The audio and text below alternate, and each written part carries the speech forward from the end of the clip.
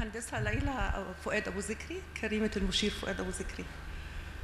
في فيلم من المشاعر كده مش عارفة إذا كان الكلام هيسعفني إن أنا أوصل إحساسي. آه، بس أنا قاعدة عمالة بقول لنفسي آه، إيه الوفاء ده؟ يعني 50 سنة هتمر على حرب أكتوبر اللي كان والدي آه، شرف بإنه يكون أحد أبطال قادة أكتوبر.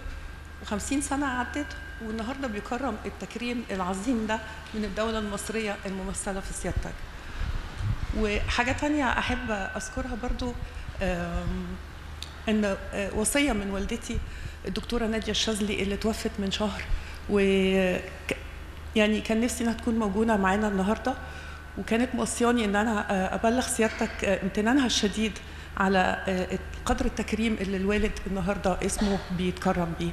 فكان نفسي إنها تكون موجودة لكن اللي بيعزيني إنها آه، كانت أول واحدة تتلقى آه، خبر تصديق سيادتك على إطلاق اسم الوالد على المحور. ويوميها يعني بكت من الفرحة وقالت أنا دلوقتي أقدر أمشي وأنا مرتاحة. فأنا بهدي لروحها فرحة اليوم ال- اللي إحنا فيه النهارده السعادة اللي أنا حاسة بيها بهديها لروح والدتي. و... وكان في مطلب صغير كده من بنتي بهية آه، هي كانت لها صورة مع سيادتك في قدرون باختلاف آه، السنة اللي فاتت. فلو ممكن سيادتك تأمر لنا بالصورة. آه، مرة تانية آه، أتقدم بالشكر بالنيابة عن أسرة المشير فؤاد أبو ذكري لسيادتك. جزيل الشكر والعرفان والتقدير على أنا مفتكرك. برحب بيكي و...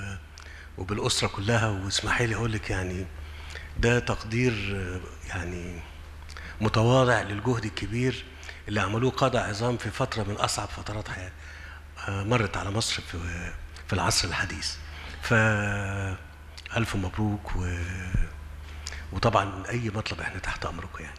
شكرا. تحت أمرك.